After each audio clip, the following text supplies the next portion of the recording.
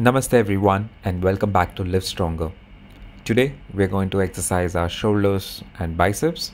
So we're going to try to have get some intensity going to build some big freaking good arms and also gain some strength.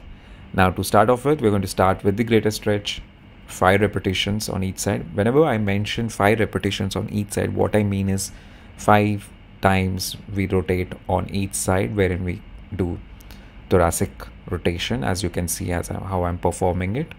So that's what I mean when I say 5 repetitions on each side. So total we'll be doing 10 repetitions. Great way to warm up. Also get our body's mobility going on before we start with our weightlifting sessions. Post completing the greatest stretch obviously we follow it up with a deep squat. Quite important mandatory to do deep squat once in a day to ensure good hip mobility and also it helped me a lot in terms of eliminating my lower back pain because oftentimes my hips are tight my hamstrings are tight but doing this over a period of time helped me a lot. Now before starting with our exercises we're going to do a small mobility drill. So whenever i'm doing my shoulder exercises i try to add one or two mobility drills just to get warmed up take my shoulder through the entire range of internal and external rotation and get it ready for the weightlifting sessions because I oftentimes feel a little bit of stiffness. But yes, I definitely recommend this to anyone and everyone before we start our shoulder day workouts or any other workouts in usual. What I am here doing is lying down on a bench and with a small lightweight plate, I'm doing back raises, side raises, and overhead pushes the entire range of motion. So my shoulder is basically going through the internal rotation, external rotation and overhead pressing. This will get your shoulder really warmed up. You can do it couple of times 10 to 15 repetitions and you should start feeling the extreme amount of blood pump in your shoulder muscles. Great sign that you're ready to go.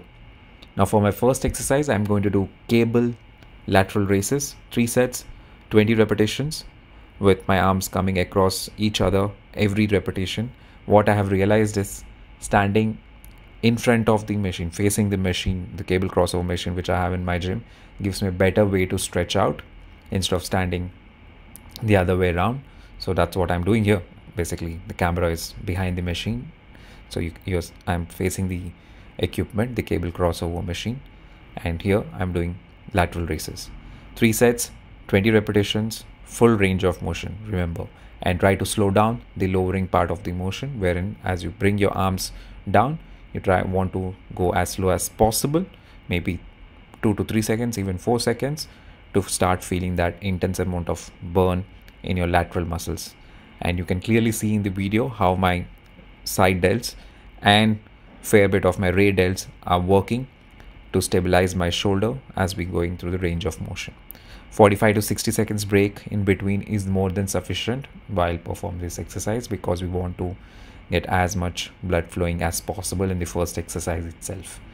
After completing those, we can simply switch on to one side of the cable machine and start doing the high cable curls, three sets, 20 repetitions with no breaks in between the hands while you're switching from the left to the right arm. You don't take a break, but post that, you can take 30 to 45 seconds of break. It should be more than sufficient. Make sure also that you choose a weight wherein you can accumulate those 20 repetitions in a challenging manner. The 15 to 20 repetition mark in your second and third set should be absolutely challenging. Now, here you can see clearly how I position myself, keeping my bicep away from my entire midline of my body, away from my chest in a stretched position, and from there we curl completely.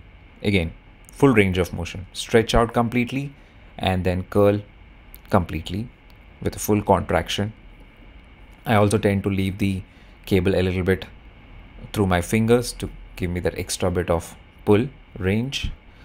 It's not necessary, but something which I prefer to do always. Post completing those, I decided to try out the overhead press machine once again to do my overhead presses. This time I'm sitting a little bit in an inclined manner like I used to do in my previous videos when I'm doing the dumbbell overhead presses and I tried to figure out my hand location wherein I could get a little bit of supinated grip so that my palms are facing behind me So on the first set, I was still figuring out, but in the second set, I figured out I can place them completely supinated, basically completely. My palms are facing behind me, and this gave me a lot of, in terms of pressure or also the load shifting was a lot on my front delt than on my mid delt, and that was my objective to do that, to put a lot of load on my front delts and the mid delts. So three sets, 20 repetitions with 45 to 60 seconds break in between. And here you can see from behind clearly how my front delt and my mid delt are getting stretched out as I go down and as I push back up, they're working really hard to push the weight over my head. And you can see how I position my hands completely supinated. My palms are facing behind me. So after finishing off those, we move back to a little bit more bicep work, simple, classic barbell curls, three sets, 20 repetitions, full range of motion with 45 seconds break in between. By now, my arms were completely on fire. You can see my veins popping out. That's because of the blood rush of all the front raises and the bicep exercise, which we have already done. We just need to keep pushing more I am trying to keep myself a little bit high on the volume range wherein I get as many repetitions as possible. That is giving me better growth, so I'm sticking to that. At the same time, trying to increase weight whenever possible. So, here you can see from the side, I also tend to activate my tricep muscle. By activate, I mean whenever I completely go down, I create a complete full range, full uh, extension of my elbows. So, my triceps contract and from there I pull the barbell back up to create a complete contraction in my bicep muscle. So this always gives me a better amount of blood flow and better amount of pump. I keep my wrist slightly turned down, like slightly bent, so that that takes the load away from my forearms. That could be individual preference, but yes, that's also something which I do. After the curls, we move back to dumbbell lateral raises. This time I'm doing it seated, but again, the range of motion is still full range of motion. Seated because it's comfortable. You can do it standing also, but seated, it's, it's the same result. We're working on our shoulder muscles, so it's absolutely fine. And you can see how I take the dumbbells all the way up above my head, and from there, as I come down, I slow down as much as possible, keeping the load tension really high on my lateral muscles. And from this angle you can clearly see how demanded my shoulders are or how much work they have to do every time I try to get the weight up or as I slow down as the weight comes down the muscles are working really hard to make sure I get back up again. Make sure you are able to achieve those 20 repetitions. Don't choose a weight wherein you're not able to complete 20 repetitions. If it is if that means you just need to do 2.5 kilos each hand that's absolutely fine. Just make sure it is challenging for those 20 repetitions. You will tend to fail between 15 to 20 repetitions in second and third set but that's absolutely fine. Post completing those i moved on to preacher curls on an inclined bench again three sets 20 repetitions no break while switching from one arm to the other. You can take a break of 30 seconds in between sets. You want here again a full range of motion and also positioning yourself away from your bicep muscle so as you can see i'm standing in an open stance wherein my chest is away from my shoulder or the working hand at least from there you start curling again weight should be something wherein you fail in between 15 to 20 repetitions if you take something extremely heavy it's not necessary we want to accumulate the volume in terms of repetitions here. And you see, even from this side, no break in between, switching arms and full range of motion. Now, post completing these on an incline bench, you can do this also on a preacher setup, but I prefer to do this on an incline bench, gives me a better connect uh, for my muscle. Again, individual preference. After those, I move back to front raises again, a little bit of more focus on my front delt because somehow I'm feeling they're not as developed as I want them to be in terms of strength also. So three sets, 20 repetitions of front raises with a EZ barbell. Now you can also do this with a straight barbell, but EZ barbell allows me to grip it a little bit closer, a way more comfortably because with a straight barbell, my wrists are a little bit awkward position and I did not like how I'm holding it. So EZ barbell allows me to grip it close together and put a lot more emphasis on my front delts. And as you can see in every repetition as I go down with my bent elbows, it allows me to create a much more stretch for my front delts. So, and from that position, when I push back up, there's a lot more tension building up as I push it up.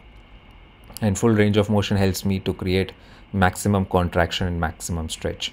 Go slow, build more muscle. That's what I learned in this last couple of, or at least few weeks.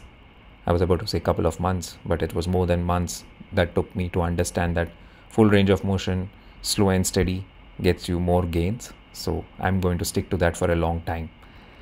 After completing these, I moved on to a little bit of rear delt work. The reason why I have positioned this in the last is because I feel I have sufficient and good rear delt development. And whenever I'm doing my back exercises I tend to hit them also pretty well. So for finishing off with a rear delt I'm simply using an elastic band and I'm doing rear delt flies or you can also say rear delt open um, W's multiple names similar exercise. And as I did it last time I placed couple of cushions under my armpits so that my elbows don't drive out and from there with my thumbs pointing out I slowly open up my arms with my delt contractions. This should put your hands on fire, at least your shoulder, delt shoulders on fire. Now I do three. I did three sets, as many repetitions as possible every set to failure, because it totally varies where or how much you are able to do in, while using an elastic band for everyone. So do as many repetitions as possible. Failure is your best friend here. Accumulate as much blood as possible, and it turned out great for me. And that's it. We are done with our exercises. I'm going to finish off with a simple vertical hang to decompress my shoulders, stretch out my biceps. Thank you so much for watching me. If you did like the video, you know, just like the video. And if you haven't yet subscribed to the channel, please do subscribe. I hope the workout was really effective for you if you have if you have done that along with me if not if you're doing it later on i hope it turns out really awesome but make sure that you stretch out any kind of static stretching or do a vertical hang like me to finish off your workout. So once again, thank you so much for watching me. Have a great day. I will see you in the next video.